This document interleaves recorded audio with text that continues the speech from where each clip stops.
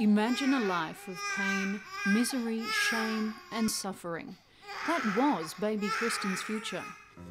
Now imagine a man of vision, a medical magician, a pioneer to rescue your baby from hell. This is the story of a young girl's triumph over a relentless demon. After eight years of battling a massive tumour called a hemangioma, baby Kristen is reuniting with her hero, Dr. Milton Waner.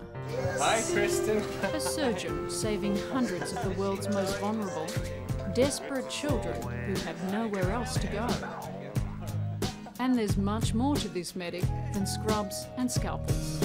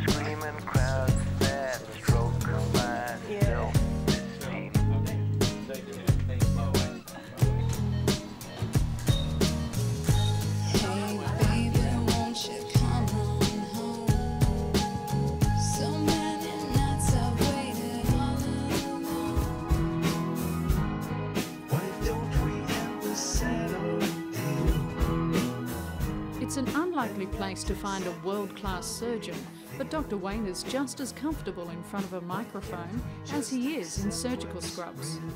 He's not your average guy, and that's how he's making a difference. This singing surgeon is dedicating his life to helping children.